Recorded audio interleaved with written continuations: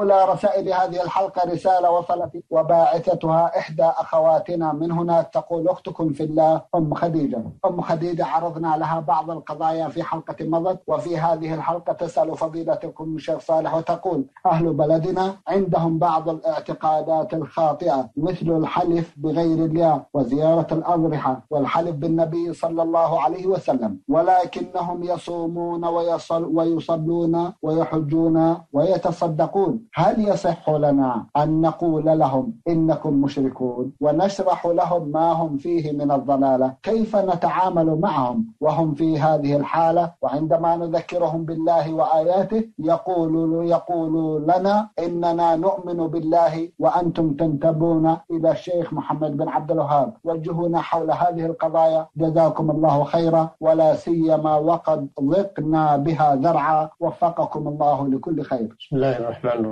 الحمد لله رب العالمين صلى الله وسلم على نبينا محمد وعلى آله وأصحابه أجمعين. وبعد فإن الحلف بغير الله شرك كما قال النبي صلى الله عليه وسلم من حلف بغير الله فقد كفر أو أشرك ثم هذا الشرك إن كان قصد الحالف تعظيم المحلوف به كما يعظم الله عز وجل كما يحصل من عباد القبور. وعباد الأولياء والصالحين أنهم يعظمون هؤلاء كما يعظمون الله عز وجل أو أشد ولذلك يتساهل أحدهم باليمين بالله ولا يتساهل بالحلف بالضريح أو بالقبر فهذا شرك أكبر. أما إذا لم يصل إلى هذا الحد ولم يعظم المخلوق كما يعظم الله فإن الحلف به يكون شركا أصغر والشرك الأصغر خطره عظيم وهو أكبر الكبائر فعلى كل حال هذا أمر خطير جدا وهو الحلف بغير الله عز وجل وأما زيارة الأضرحة التي بني عليها مشاهد و أقيم عليها قباب من أجل تعظيمها والتبرك بها فلا يجوز للمسلم أن يزورها إلا على وجه الإنكار والدعوة إلى الله عز وجل. أما من يزورها معتقدا فيها البركة ويتبرك بها ويستغيث بأصحابها ويطلب منهم المدد فهذا شرك أكبر لا يختلف عن عن الشرك باللات والعزى ومنات الثالثة الأخرى لأن هذه الأضرحة أصبحت أوثانا تعبد من دون الله عز وجل. الذي يزورها بهذا القصد زيارته شركية وهذا شرك أكبر والعياذ بالله لا ينفعه معه صلاة ولا صيام ولا حج ولا أي عمل لأن من أشرك بالله الشرك الأكبر حبط عمله. قال تعالى ولقد أوحي إليك وإلى الذين من قبلك لئن أشركت ليحبطن عملك ولتكونن من الخاسرين. قال تعالى ولو أشركوا لحبط عنهم ما كانوا يعملون. قال تعالى وقدمنا إلى ما عملوا من عمل فجعلناه هباء منثورا. فعمل المشرك الذي يدعو الأضرحة والقبور ويستغيث بأصحابها عمله حابط وباطل صلاته وصيامه وحجه وجميع أعماله لأنه لم يبني على عقيدة صحيحة والعمل إذا بني على غير عقيدة صحيحة فإنه يكون باطلا كما أنه إذا بني على غير اتباع للرسول صلى الله عليه وسلم فإنه يكون باطلا ومردودا. فالعمل لا يقبل إلا بشرطين الإخلاص لله عز وجل والسلامة من الشرك والمتابعة للرسول صلى الله عليه وسلم والسلامة من البدعة والخرافات.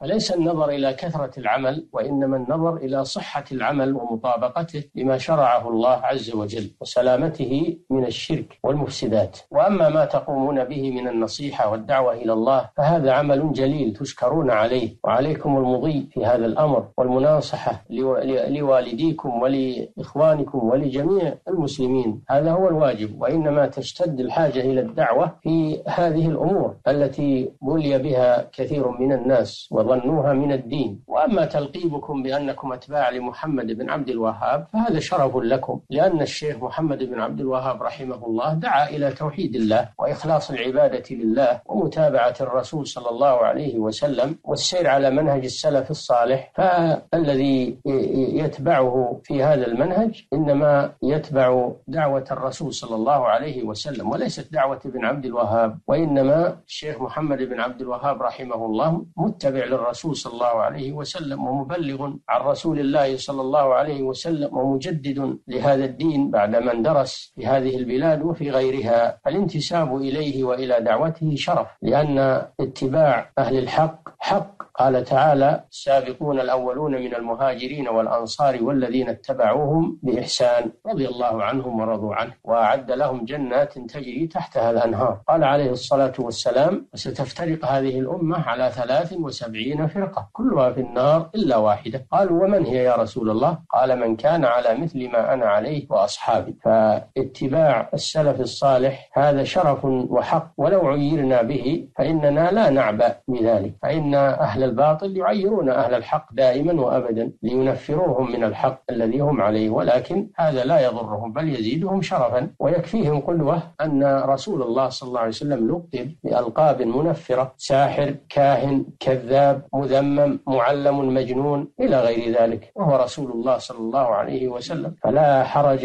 ولا ضرر في أن يلقب أتباعه بالألقاب المنفرة ولكن هذا لا يضر ولا يثني أهل الحق عن حقهم وإنما هو شرف لهم كما قال الشاعر وإذا أتتك مذمتي من ناقص فهي الشهادة لي بأني فاضل. والحمد لله هذا شرف لنا. الله جل وعلا يقول والذين آمنوا واتبعتهم ذريتهم بإيمان ألحقنا بهم ذريتهم وما ألتناهم من عملهم من شيء كل امرئ بما كسب رهين فوعد الذين اتبعوا آباءهم في الإيمان بأن الله سبحانه وتعالى يجمع بينهم في درجات الجنة مع آبائهم لتقر أعين بعضهم ببعض. وقال عن يوسف عليه السلام واتبعت ملة آبائي إبراهيم وإسحاق ويعقوب. ما كان لنا أن نشرك بالله من شيء فالاتباع الحق والمتابعة على المنهج الصحيح. هذا شرف. وإذا عير الإنسان به فإنه لا يلتفت إلى ذلك لأن هذا التعيير إنما جاء من أضداد للحق ومخالفين للحق والمسلم لا يقصد الثناء والمدح من